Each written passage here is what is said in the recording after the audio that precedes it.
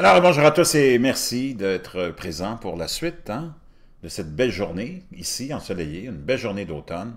23 octobre 2019, 13h54 heure du Québec. Il y en a qui n'ont pas eu cette chance-là en Europe, ces dernières heures, hein, d'avoir du beau temps, des, pluies dignes de, récits apocalyptiques.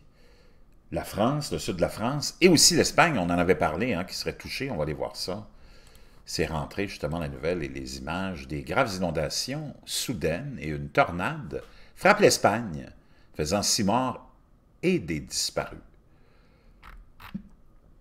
De graves inondations soudaines ont touché certaines parties du nord-est de l'Espagne aujourd'hui, faisant au moins deux morts et quatre autres disparus. La tornade qui s'est abattue à Ibiza, oh, ça swing à Ibiza, ben là, ça soignait pour vrai, a également ajouté des dommages matériels et blessés des civils. Des milliers d'habitants ont été privés d'électricité. Au 23 octobre, plusieurs sites du Bexcamp hein, ont enregistré plus de 200 mm de pluie en 24 heures, selon les données fournies par Surveille météorologique des Catala Catalunya. Des pluies sont tombées sur certaines parties de Plat d'Orgel, sans précédent, pour la région. Donc, d'autres pluies sans précédent. On regarde les dommages aux infrastructures, les routes, les ponts. Wow! C'est de l'eau, chers amis, de l'eau. Les eaux ont emporté un homme de 70 ans.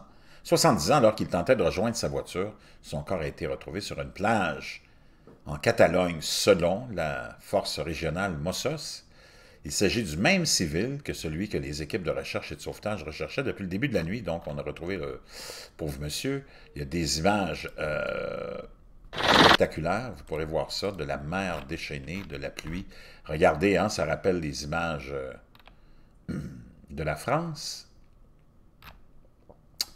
Donc, tornade à Ibiza et euh, beaucoup, beaucoup, beaucoup, beaucoup de pluie, beaucoup de pluie peut voir ici euh, des voitures littéralement, littéralement dans l'eau. Donc, je vous laisserai tout ça dans la boîte de description. La pire tempête depuis plus d'un siècle qui frappe l'Espagne selon des informations sur des inondations et des tornades, imaginez-vous. Hein? Donc, on continue avec ce modèle hein, depuis quelques années qui fait que l'Europe vous connaissez des conditions atroces l'été et l'automne. L'automne, hein, c'est souvent ça qu'on oublie. L'automne, c'est des beaucoup, beaucoup, beaucoup, beaucoup, beaucoup, beaucoup, beaucoup, beaucoup, beaucoup de pluie, de tempêtes. Et c'est pas fini, hein? c'est que le début. Je vous reviens avec d'autres choses.